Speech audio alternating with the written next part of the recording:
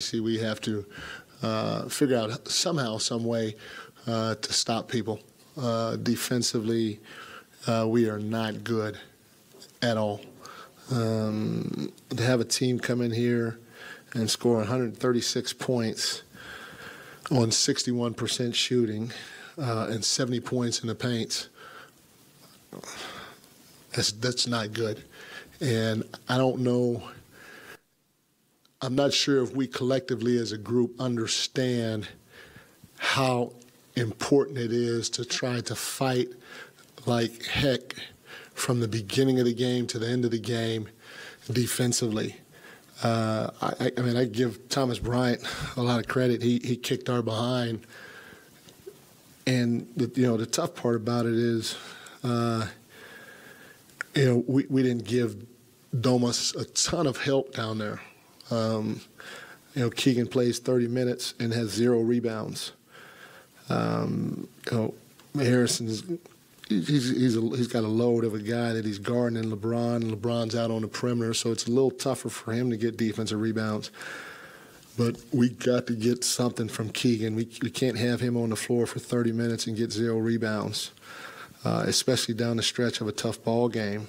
Um, but defensively, uh, you know, to give up the 70 points in the paint uh, is, tough. It's tough to swallow, especially with them not – even hitting the three in the second half.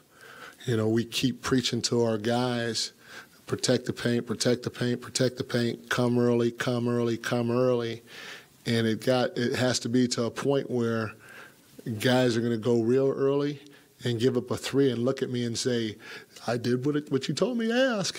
You know, uh, I'm hoping somebody would will do that, but some somehow, some way, uh, we have to figure out collectively as a group how to defend, but more importantly than that, we have to commit to defending for 48 minutes because, uh, you know, let's face it, we can score, but we're terrible defensively. Yeah, Mike, um, you guys are just about at the midway point of the season, and the defensive regression has been yeah. really, really strong over the last, I don't know, three weeks. For sure. Is it a matter of like these guys just not figuring things out, or is there a point where you've got to ask for more help? No, you, you know, I mean, I, I, love our guys, and they're more than capable of doing it. Um, I just don't know if they're used to doing it for for 82 games. You, you know, um, and maybe we have you know, I, when I look at our roster, I don't know, and not that I'm asking for help. I love our roster, but as the season goes along, there, you have to be committed to the defensive end of the floor. I've had a lot of people tell me, "Hey, let's just outscore people because our offense is that good." Uh, maybe our guys are, maybe our guys have that mindset too.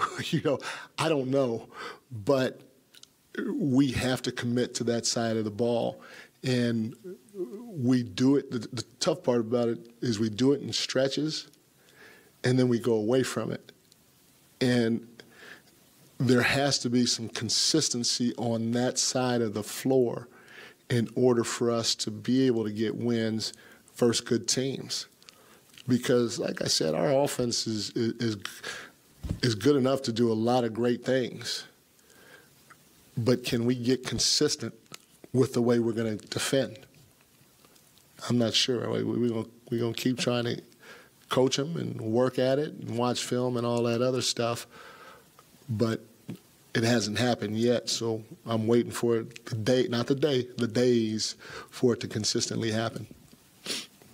Mike, how much of it is also focus based, especially in a game like tonight where both sides are scoring and going back and forth, and you want to answer a bucket with a bucket? Is there, uh, do you are you noticing like a lack of focus defensively because of wanting to respond offensively? Well, yeah, it, it, I don't know if focus is the right word. You know, part of it is you know we want to play fast, and I think guys are just at least the feel that I get throughout the course of the game you know, we're okay with getting a bucket, and our answer to somebody scoring on us is to score back on them, which should happen. You know, I, I mean, I like the, the, the pace, but we have to somehow, some way, hold each other accountable and want to get a stop by doing things the right way. They hit four or five pull up threes in the first half. Uh, those are tough shots. We'll live with those shots. All right. But they scored 32 points in the paint. And one of our three major themes for this team is we got to protect the paint. They made zero threes in the second half. And LeBron kept getting downhill after time after time after time without having. Now, occasionally we had bodies. I think we took a charge one time. I think Foxy went up and went vertical another time. But I can show you more times than not where somebody got to the rim and the paint, nobody reacted on the weak side of the floor. Nobody. And that is, is tough to swallow because it's something that we've been preaching and preaching and preaching and preaching and drilling and drilling and drilling and drilling.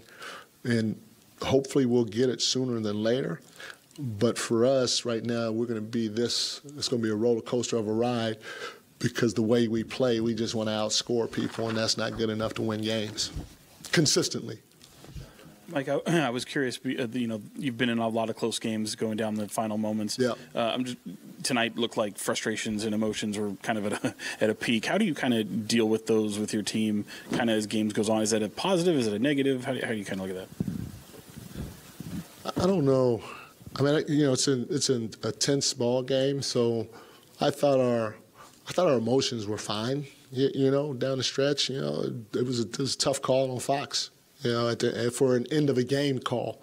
A tough call. You know, he was on his hip and he showed his hands, and I don't, uh, you know, you know, you can always say somebody hit somebody with the lower body, you, you know, or whatever, but. Um, that in itself is tough, but you know it, it shows the guys care to me.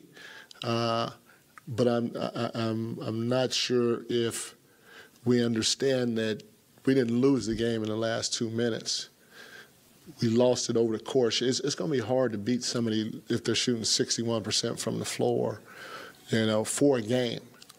And so it's a cumulative effect uh, of them scoring whenever they wanted to very easily that put us in this predicament at the end and gave them an opportunity to win the ball game, you know. So, I, I, you know, in terms of the emotions and all that, you know, it's, it's part of the game. Everybody's human. The ups and the downs throughout the course, especially at the end, when it doesn't go your way, that's going to happen. But again, like I said, we just have to do a better job throughout the course of the game of, of being consistent when it comes to getting stops. I feel like another thing that you've been drilling into the team is defending home court. You had another sellout crowd. How frustrating is it to open this five-game homestand 0 and 2? Uh, it's frustrating. You know, the crowds have been great, man. You know, you, I take my hat off to the fans because they've been coming out and they've been giving us a ton of energy. Uh, we, we got to figure out how to make that energy, how we can gobble that energy up on the defense end of though.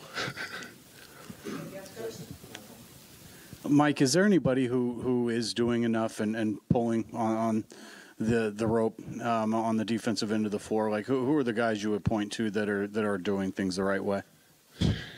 Well, I, you know, I, it, it's it's tough because you know again I go back to it's almost impossible for any one guy to guard the ball.